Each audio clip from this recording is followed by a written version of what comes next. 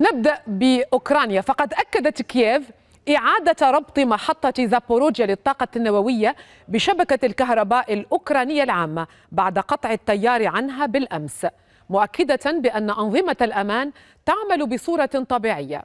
يأتي هذا فيما كشف ممثل روسيا في الوكالة الدولية للطاقة الذرية عن تحضيرات مكثفة لزيارة بعثة الوكالة لمحطة زابوروجيا الواقعة تحت السيطرة الروسية في أوكرانيا.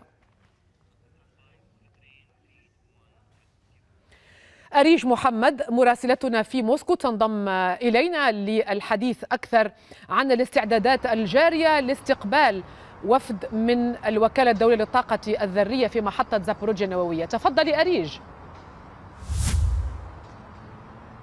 نعم فضيلة تنتظر موسكو رسميا وأيضا من خلال اللجان المحلية التي تواليها في مناطق في مقاطعة زباروجيا وفي المناطق الخاضعة لسيطرتها في الشرق الأوكراني.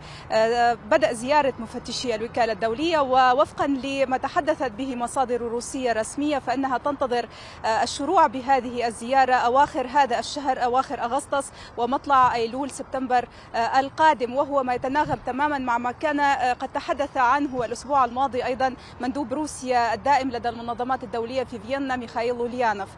طبعا هذه الزيارة موسكو تعول عليها لو لم تكن تعول عليها وتعلق عليها امالا لما كانت قد توصلت إلى نوع من التوافقات المبدئية مع دول تضع حاليا دعمها في خانة كييف في خانة السلطات في أوكرانيا التي تغيب ثقة بين موسكو وطرفها فيما يتعلق بالعملية العسكرية في أوكرانيا وفيما يتعلق بالجدل الدائر حول المسؤول عن القصف المتكرر لهذه المحطة، طبعا يدعم الموقف الروسي ويدعم الرواية الروسية ربما السيطرة الروسية على هذه المحطة.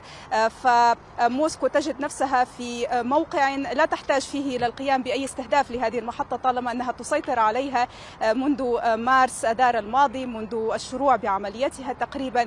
بالإضافة إلى أنها ترى في ذلك أو ترى في الموقف الأوكراني محاولة لابتزازها ولاستعادة هذه المواقع من القبضة الروسية ومن قبضة الموالين لها في تلك المناطق. تعول موسكو اذا على هذه الزيارة المزمعة والمتوقعة لمفتشي الوكالة الدولية للطاقة الذرية، تعول على مهنية المفتشين، تعول على مصداقيتهم وعلى أنهم سيوصفون وسينقلون الصور التي يجدونها في موقع هذه المحطة وفي محيطها نعم. كما هي دون ما أي تحوير أو التعديل خصوصا نعم. أنهم سيكون سيكونون موجودين أيضا ربما تحت ضغوط دولية معينة. أشكرك أريج محمد في موسكو.